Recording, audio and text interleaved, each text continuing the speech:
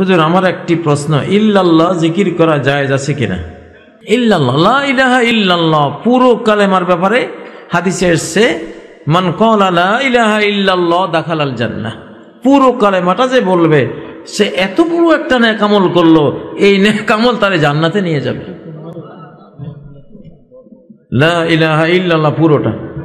নবীজি যদি বলতেন, মান কলা ইল্লাল্লাহ দাখালাল জান্নাহ, যে ব্যক্তি ইল্লাল্লাহ বলবে, সে জান্নাতে যাবে। তাহলে না আমরা বলতাম যে হ্যাঁ ইল্লাল্লাহ বললে জান্নাতে যাওয়া যাবে। কোরআনে হাদিসের সব জায়গায় দেখি লাইলা ইল্লাল্লাহ পুরোটা। লাইলা ইল্লাল্লাহ পুরোটা একসাথে।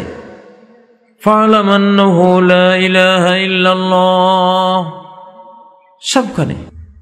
একটা মুরগি যদি ডিম পাড়ার জন্য কিনে আনলেন, কিনে এনে দুই টুকরা করে, দুই টুকরা দুই ফ্রিজে ধুয়ে দিলেন। কয়টা করে ডিম পাবেন? মুরব্বী বললেন ঘোড়ার ডিম পাবেন। মুরগির ডিম আর পাইতেন না। আস্ত মুরগি ডিম পাড়ে।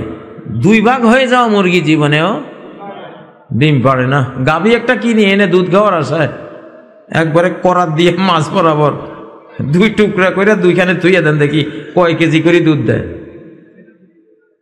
হ্যাঁ?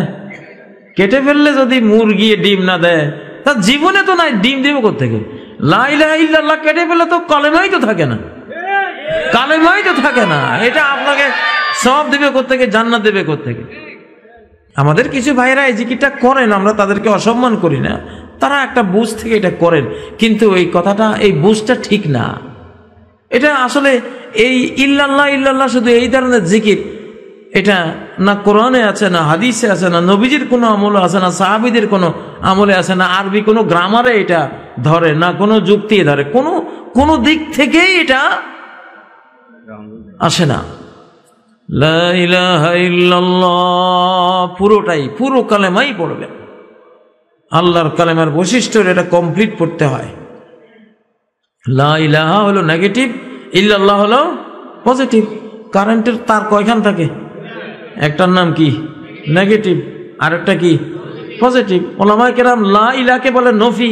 আর ইল্লাল্লাহকে বলে? ইসমাত ইংরেজিতে বলব, লা হলো নেগেটিভ আর ইল্লাল্লাহ হলো পজিটিভ বাংলাতে বলব, লা ঋণাত্মক আর ইল্লাল্লাহ হলো ধনাত্মক। ঋণাত্মক তার, ধনাত্মক তার।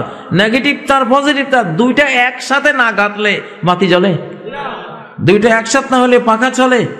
এই মাইক চলে? কিছুই চলে না। কিছুই চলে না।